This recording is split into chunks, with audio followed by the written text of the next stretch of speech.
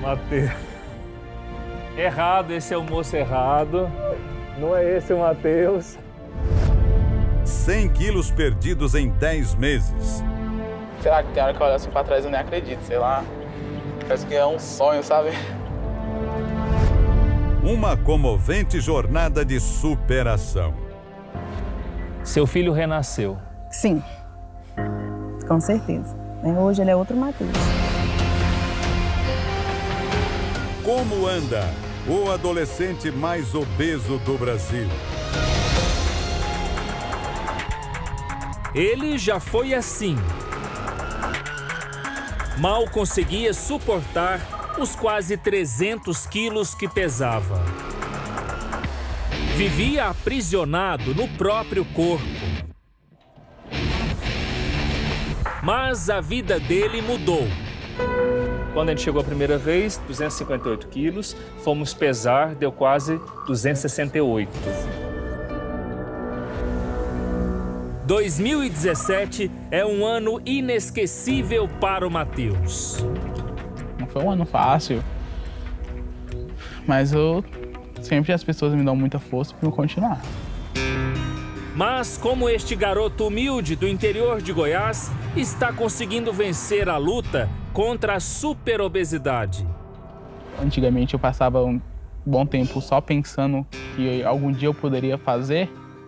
Esse ano eu já, penso, eu já vejo como que eu já fiz, né? Então é bastante diferente, é uma coisa se realizando, um sonho se realizando cada dia mais. O rapaz que hoje realiza cada um de seus sonhos vive assim, com um sorrisão estampado no rosto. Bem diferente do garoto cabisbaixo, de olhar triste que nós encontramos no começo do ano. A trajetória de transformação do Matheus começa com este vídeo. Meu nome é Matheus, tenho 18 anos, peso 258 quilos. Gostaria muito de ser operado para realizar meu sonho, de poder ter uma vida normal, trabalhar e terminar meus estudos. O depoimento publicado na internet veio parar na nossa produção. E nós fomos atrás do menino que só queria ter uma vida como qualquer outro da sua idade. Mateus é um caso raro de super super obesidade. Um termo usado para quem está acima da obesidade mórbida. Ele tem 1,77m de altura e pesa 266 quilos. Ele mora neste sítio com a mãe e três irmãos em Lusiânia, interior de Goiás. Por causa do peso, não sai de casa. A obesidade, ela tranca a pessoa dentro de casa. Teve até de parar de estudar. Esse ponto aqui é onde ele fazia a travessia do bairro onde ele mora para o bairro da escola, que é do outro lado da rodovia. Para frente não tem faixa de pedestres, Nem passarela. não tem passarela, não E tem se nada. você der a mão, ninguém para. Mateus não consegue chegar à escola. Muito perigoso isso aqui. Impossível, Mateus, atravessar essa rodovia. Eu vou tentar. São vários minutos tentando uma brecha. Acho que agora eu vou, hein? Para quem tem um peso normal, já é arriscado. Para o Mateus, impossível. Não pode fazer isso.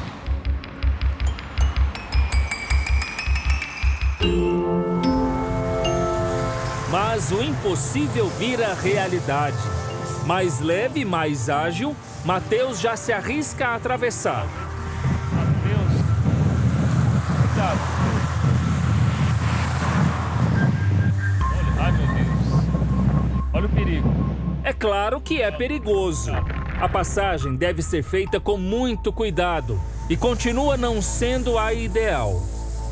nós só conseguimos passar porque um dos carros para no meio da estrada. Olha só, Caramba, o cara parou ali. a gente consegue atravessar, principalmente o Matheus, tem mais mobilidade, mas o perigo continua. É, melhor seguir de carro então, né? Quando eu te conheci, a nossa saída foi em que tipo de carro? Mano, vá. Uma van. Ainda foi Hoje desconfortável. Foi desconfortável? Não foi? Tava. Ficou apertado pra você, Ficou apertado né? nas pernas. Ficou muito ruim. Tá tranquilo aí, Matheus? Não. É, mas isso já está no passado. Olha só a facilidade com que o Matheus entra no carro.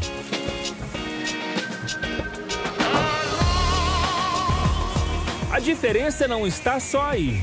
Agora, Matheus é reconhecido nas ruas. É, nós só vimos na TV. Tu engordava mais Uhum. que o normal. Sim, E já tá melhorando? sim. Agora tá emagrecendo. Tá? Uhum. Bem. Obrigado. Chegamos ao lugar em que Matheus realizará mais um grande sonho.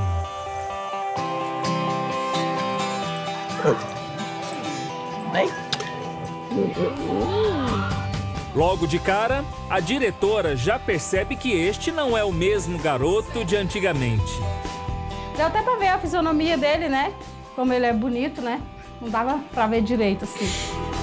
O novo aluno quer dar sequência ao curso do primeiro ano do ensino médio. Então ele está definitivamente matriculado. Matriculado. Dia 22 ele pode vir estudar.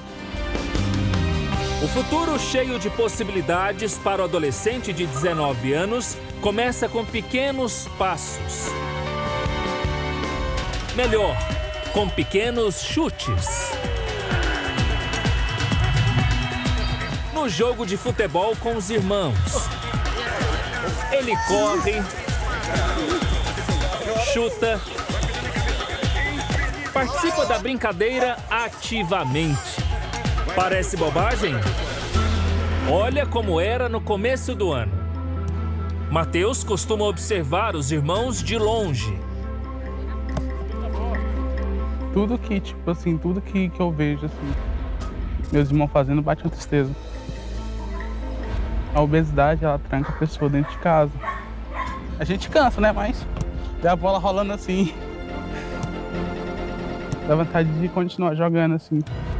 Se jogar bola era difícil, imagina passar numa catraca de ônibus.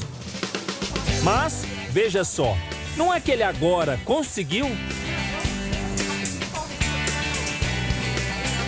Há quanto tempo você não passa numa catraca de ônibus?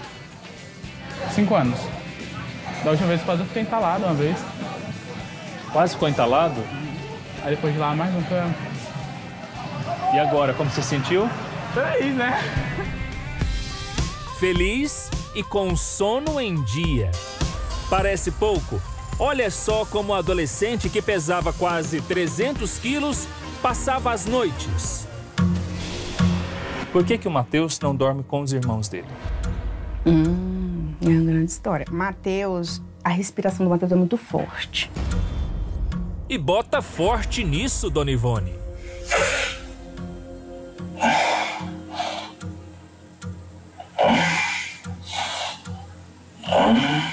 Quarto só seu. Só meu. Mateus tem seu próprio quarto, Então, mas não uma cama de verdade. Você tinha quantos anos quando você dormiu pela última vez numa cama? eu não me lembro. Hoje, o Guilherme, irmão do Mateus, nem se importa em dividir o quarto. Agora, Guilherme, na presença do seu irmão, ele voltou a dormir no seu quarto. E o ronco? Rapaz, só se ele ronca depois que eu durmo agora, né? Mas não tá roncando mais não, é. Daquele barulho lá, tá tranquilo agora. A respiração é outra, né? Tudo diferente. Hoje você fica perto dele. Sim, você que teve contato, hoje você vê, é outra pessoa, né? Totalmente diferente, totalmente mesmo. O Mateus dorme aqui, na cama. Minha cama. Um pouco bagunçada, mas minha cama. Tava deitada nela. Muito diferente do chão, Matheus. Demais. E as roupas antigas, então? Bota diferença nisso. Quarto novo, cama nova, roupas novas também? Sim. Cadê aquelas antigas? Está no meu armário. Não usa mais. Não. Vamos ver? Qual a sensação de usar uma roupa que antes era apertada e agora está larga? É engraçado. assim, tipo. É esquisito saber que é, sei lá, que chegou aquele tamanho. Fica orgulhoso? Sim. Quando você olha a roupa, nossa, tá vendo? Sim, mas ainda devo fazer mais. Dá licença. Olha só, gente. Tanto que tá sobrando. Ó, o Matheus tá aqui, ó. Ó. Olha o tanto que ele tá estreito. Ó. Tá vendo?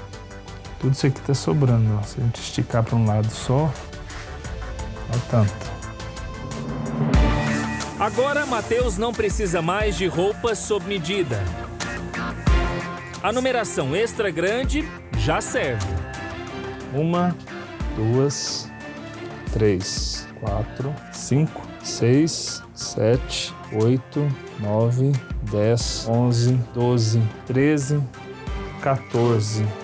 14 peças aqui perdidas, assim como os quilos que foram embora. Sim. Ele pode até ter perdido algumas roupas, mas ganhou autonomia para realizar atividades simples, como tomar banho. A gente mostrou quase um ano atrás você lavando essa perna do Matheus. As mãos se afundam nas dobras. Então, falta alguma que eu não lavei? Não, é essa daqui, ó. Qual? Essa? Essa? Essa? essa? Não. O trabalho é pesado e o corpo da mãe sente o esforço. Hora você cheira. eu tenho muito medo do preconceito das pessoas com ele, entendeu? Porque o cheiro não é muito agradável. Aí eu sempre banho ele por isso. Uma tarefa que se repete todos os dias e que entristece a mãe há muitos anos. Matheus, ele não sabe o que é viver a vida, né? Vive a vida toda assim desse jeito, é deitado ali naquele colchão, né? Aí levanta, senta, aí assim tem que se expor para tomar banho, tudo tem que ser os outros, né? Ele tem vida. A mãe que sofria ao ver as limitações de Mateus, hoje é só orgulho pelo filho. Eu fiquei feliz por ele estar conseguindo ser independente, até porque o meu sonho sempre foi ele ser independente, normal igual aos outros, né? Mas, como um rapaz que apenas 10 meses pesava 266 quilos, chegou aos 166,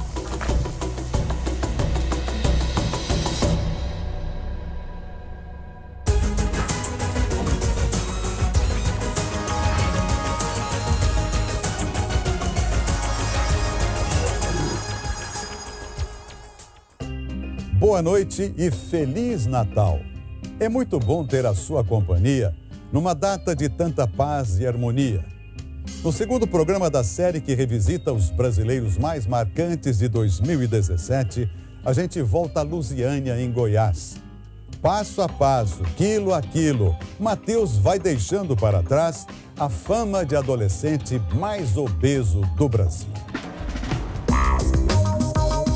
a virada de Mateus começa com uma surpresa que a gente prepara para ele em fevereiro. Sensibilizados com a história, a direção deste hospital e um grupo de médicos decidem oferecer uma cirurgia bariátrica gratuitamente ao adolescente mais obeso do Brasil. Mas antes, Mateus precisa se internar em um spa e perder peso. Hidroginástica. Musculação. Refeições controladas.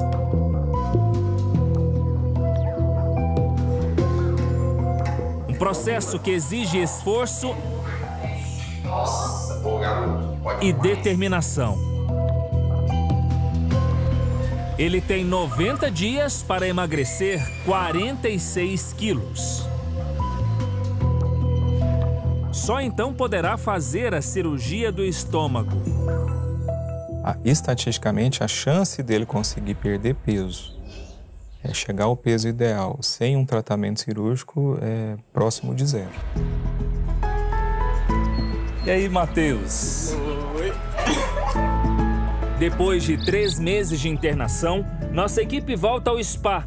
Será que Matheus já perdeu peso suficiente para fazer a cirurgia?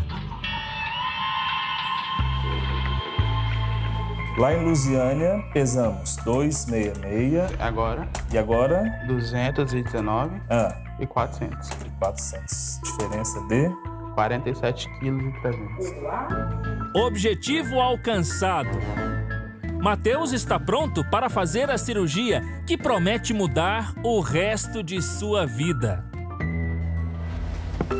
Ele perdeu 47 quilos e 300 gramas em três meses. Resultado de muita força e determinação. 95% é o foco da pessoa, a determinação da pessoa e 5% é a gente. Uma dieta difícil que Mateus terá de manter por algum tempo ainda. Qual é o risco se ele comer alguma coisa fora da dieta determinada após a cirurgia? Pode vir até óbito, dependendo do que ele consumir e da quantidade que ele consumir. Fiquei muito emocionada, né? Assim, a gente sabia que isso ia acontecer. A gente veio pra cá pra isso, né? A gente lutou muito, né? São quase três meses de muita luta, né? De superação, né? Nós vamos despedir dele lá na porta. É, e essas lágrimas não podem estar aqui, né? É hora de ser mais forte do que nunca. E ontem eu conversei com ela pelo WhatsApp, perguntando por ele. E ela me relatou: ai, Marina, ele deve estar com muita fome. Só que ele não me falou isso. Que a mãe ela quer acolher, a mãe, nossa, ele tá com fome. Ele, não, não tô com fome. –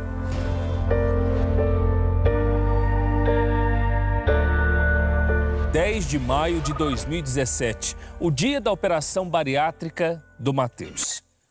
E agora são quatro e meia da manhã, a gente acaba de chegar aqui no Hospital do Coração para acompanhar bem de perto essa cirurgia. Vamos lá?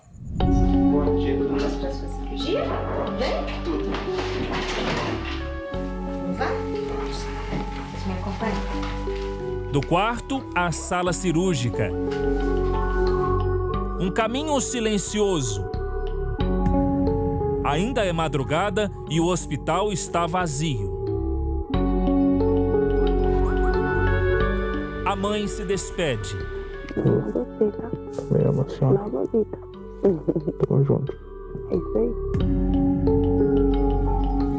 Ela sabe dos riscos de uma cirurgia desta proporção. Tem mais de 15 anos que eu lido com anestesia em pacientes dessa monta, obesos, obesos mórbidos, super obesos, mas igual dele é o primeiro caso. Tiago, veja.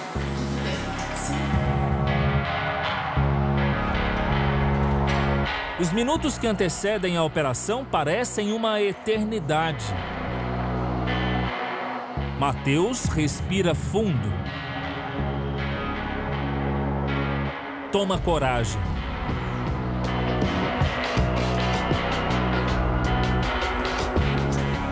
Olha só, o procedimento vai começar agora, com anestesia, com tudo. 6h20 da manhã. A gente vai acompanhar até o final. A movimentação na sala é intensa. 15 pessoas acompanham o procedimento. O estômago dele é muito grande. O estômago dele é enorme. É bem maior do que a gente está acostumado a operar. Do lado de fora, quem sempre fez tudo por Mateus se vê de mãos atadas. Deus dá todas as coisas, né? Eu acredito também que a gente ia chegar até aqui pra nada, né? Se a gente já chegou até aqui, E vai sair dali bem, eu tenho certeza. A cirurgia foi muito tranquila, correu tudo muito bem, não teve nenhuma intercorrência. Agora vamos conversar com a mãe, né? Dona Ivone. Foi tudo muito bem. Obrigada, doutor. Imagina. Pode respirar aliviada. Uma mãe guerreira, dedicada, que agora se sente, enfim, aliviada. O coraçãozinho tá quase 200. Ele pesava 266 quilos. Depois de três meses de spa, chegou a 219. Fez a redução de estômago e em apenas um mês já estava com 204. Hoje, a balança marca impressionantes 166 quilos. Que ano! Foi um ano ótimo. Tipo, realizou um dos meus sonhos, né? Onde antigamente eu passava um bom tempo só pensando que algum dia eu poderia fazer. Esse ano eu já, penso, eu já vejo como que eu já fiz. Do antigo Mateus, só a lembrança. Mas no seu corpo, no seu dia a dia, o que, que mudou? A disposição, a alimentação, forma de pensar. Você está comendo menos? Tô. Bem menos.